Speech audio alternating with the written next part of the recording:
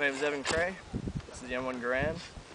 I'm just going to fire off some rounds, show you guys how it works. So, open up the breech, put it in.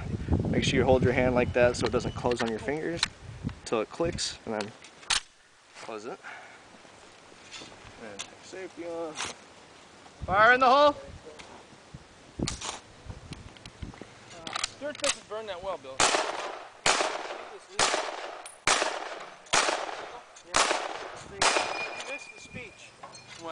That they gave That. us about the campfire. That's how you fire Oh my God, were we Garand. supposed to drink that water?